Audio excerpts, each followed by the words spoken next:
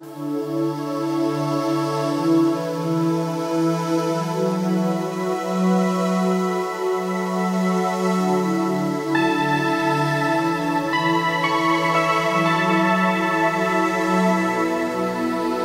on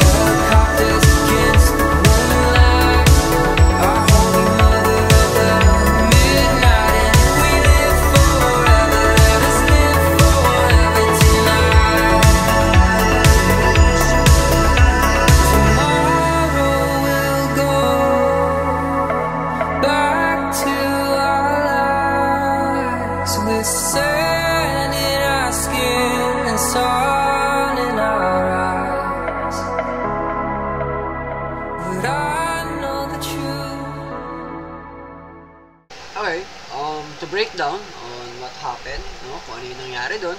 So, punta lang tayo dito sa Twitter ko. Like ko yung pinapost dito sa Twitter ko. As you can see naman dito, no, um, that is um, one hour ago. one hour ago. On a 5, 15 minutes time frame of Bitcoin. Um, I said this, okay? 15 minutes time frame of BT, BTC, do you see it? Naki, uh, tinanong ko sila kung nakikita nyo ba? So, balik tayo dito. That is a 15 minutes time frame of Bitcoin. Actually, I have a screenshot kung ano yung tsura na ito 15 minutes ago.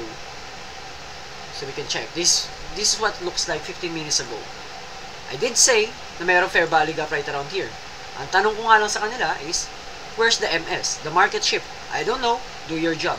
Wala akong pakialam. Kayo bahala. Okay? Basta tinuruan ko kayo, I don't want to spoon feed everyone para lang malaman kung ano yung point, yung pinupunto ko dito. I don't want to spoon feed some of my students. So that's why, kayo bahala. Okay? But in reality, alam naman ng iba na it's a shorting position and it might go long position but we need an opening above here because may kill zone tayo around here or may liquidity tayo around here. Okay? So, again, binigyan ko naman sila ng bonus on what MS look like right around here. Nung bago na, nung lumipad na yung presyo ni Bitcoin. Okay? And, ito yung sinabi ko naman. Okay? I, I believe, ay sinabi ko sa kanila na ano na nangyayari sa presyo? Tumataas na. Nagpapanik na yung tao kasi sabi nga daw ni Sir Kim, sabi ni Sir Kim, fair value gap is must or must be respected. Pero alam naman natin na ang fair value gap is meant to be broken. So, I believe pwedeng basagin yan any moment of time. Basta ang sa akin lang, dapat may MS kayo. Again, let's go back to another, uh, sa kaninang picture. Binibigyan ko kayo ng um, chance na malaman kung saan ba yung MS. Hanapin nyo lang yung MS, then you can go short position. Target the clean traffic or the resting liquidity below here.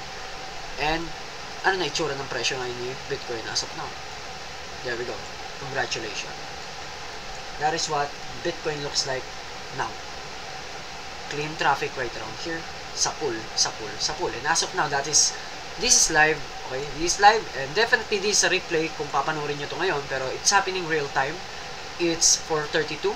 And, huh, believe me, it will go down below hanggang dito sa area na to. Or resting below here. Or probably hanggang dito. Why? Again, this is a fair value gap and it meant to be broken and pwedeng basagin yan any moment of time. Again, kung gusto natin siya ilong, definitely we should look for a what? Market shift. Right around here. Who knows kung nasan yun, and I'm expecting nandito yun sa areas na yun. Kung gusto natin siya malong, then definitely waiting for opening above, and then long position. Target the liquidity above. Naintindihan? So, ganun lang siya kasimple. So, I hope you're having a great day so far. That's it. This is my, this is my charting on Bitcoin. Napakadumi niya. If iisipin nyo, if titignan nyo siya ngayon, madumi siya. Pero sooner or later, maintindihan nyo rin na, guess what? Ganyan lang naman siya kalinis. Okay? And guess what? Kayang-kaya nyo siya i-trade kahit na wala man lang drawing. So, yep, that's it. I've seen the signs, and I've